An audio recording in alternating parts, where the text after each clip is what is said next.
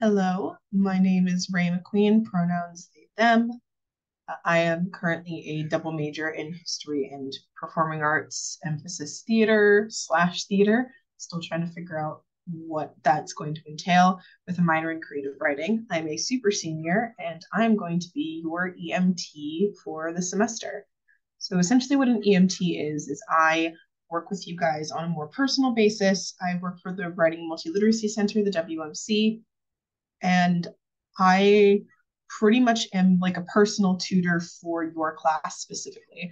So you can come to me if you have any questions, if you need to get a piece of work looked at.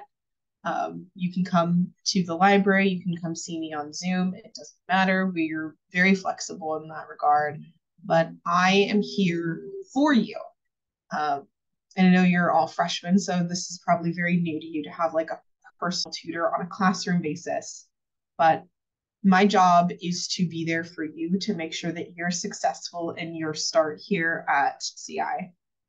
Um, so you can use the center a few different ways. There's a lot of options. Uh, you can come and see us in person in the library on the second floor uh, towards the back. So essentially how you get there, you walk in from the front, uh, go all the way to the back where the elevator is, go up second floor on the elevator, uh, come out the elevator, take a right, which looks like I'm pointing left, but I'm pointing right.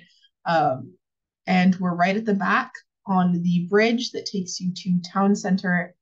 Um, we're pretty easy to find, but you can come to there and come to see us in person.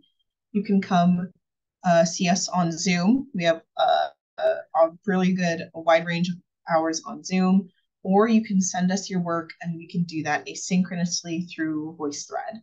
So there's a lot of different options on how to use the center. And once we talk a little bit, we can talk a little bit more about that in a couple of your first EMT posts that you'll be seeing in your Canvas modules and stuff like that.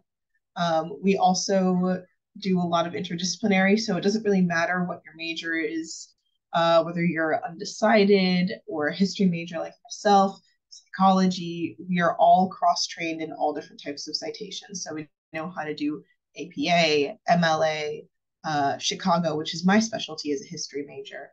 Um, but yeah, we there's a lot of options. We have a lot of help available for you.